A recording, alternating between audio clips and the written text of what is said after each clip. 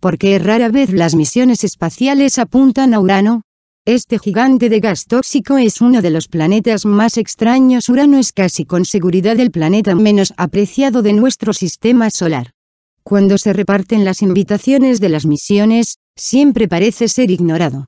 Se han enviado naves espaciales a Mercurio, Marte, Venus, Saturno y Júpiter.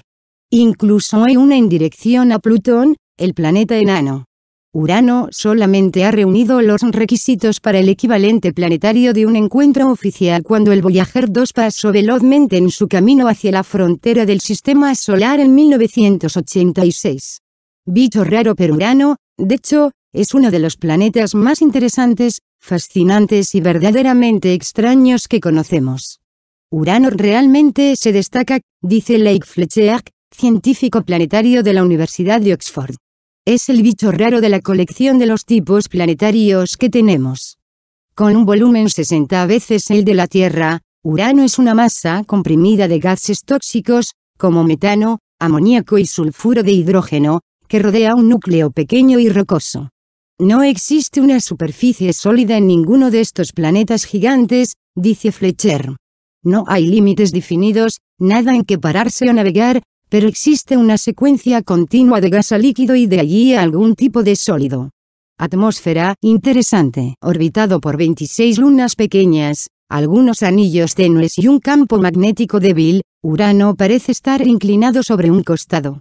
Cada planeta tiene una ligera inclinación cuando gira, lo cual provoca nuestras cuatro estaciones, pero a diferencia de cualquier otro planeta del sistema solar, Urano rota sobre un eje que punta de manera casi directa al Sol.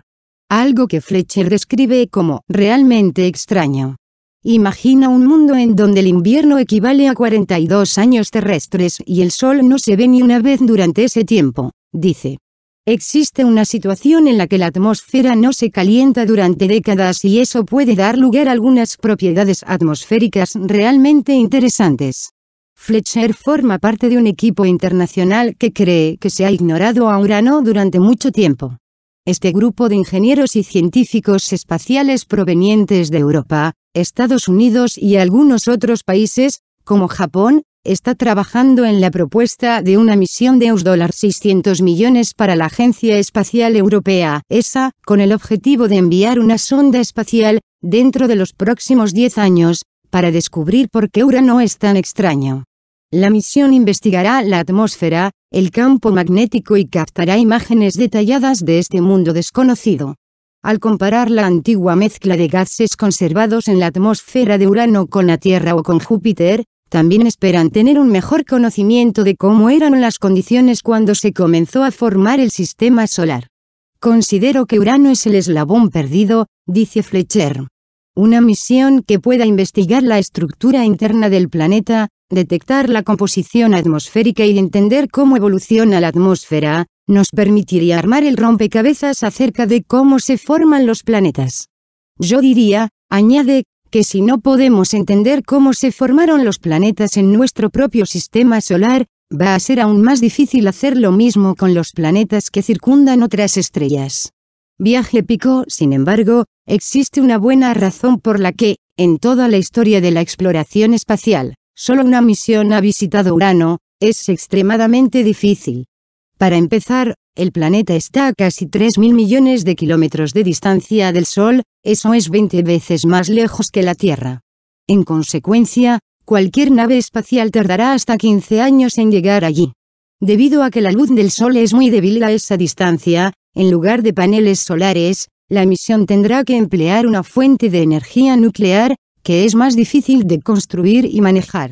También existe la cuestión de cómo comunicarse y recuperar los datos de una nave espacial que esté tan lejos. Instalar un plato gigante en un costado o construir un enorme receptor en la Tierra. O ambos.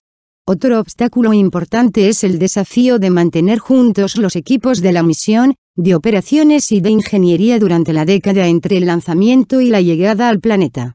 Y todo eso antes de analizar qué instrumentos van a ponerse a bordo. Impulso mundial A pesar de que las agencias espaciales consideran como prioridad una misión a Urano, las propuestas anteriores del ESA y la NASA han caído en el olvido. incluido un plan de un equipo europeo en 2010 conocido como Uranus Pathfinder. Porque esta última es diferente? En 2010 no habíamos trabajado en todos los detalles, admite Chris Arridge del University College de Londres, uno de los líderes del equipo Urano, que habló con la BBC desde una reunión de planificación de la misión en Washington, D.C. Esta vez tenemos una comprensión muy bien desarrollada de la ciencia que queremos hacer y de los instrumentos que queremos llevar con nosotros. Los científicos tienen plazo hasta enero de 2015 para presentar a la ESA una propuesta detallada de la misión. Se requiere una enorme cantidad de trabajo, ya que tenemos que trabajar en todo, desde qué tipo de cohete vamos a lanzar, en qué órbita vamos a entrar y qué instrumentos vamos a llevar con nosotros, dice Ridge. Sin embargo, hay un impulso mundial cada vez mayor y una verdadera sensación de entusiasmo. Incluso si se acepta la misión, esta no se pondrá en marcha al menos hasta el año 2020 y solo llegaría a Urano después de un viaje de más de una década, a mediados de la década de 2030. Sin embargo, para Fletcher, seguirá siendo un sueño hecho realidad. Actualmente me encuentro sentado en Miles Oficina como un investigador treintañero, dice. Espero poder estar sentado en Miles Oficina como un investigador sesentón cuando llegue la nave espacial. La exploración planetaria no ha concluido, añade Fletcher. Sobre la mesa todavía hay ideas interesantes como esta.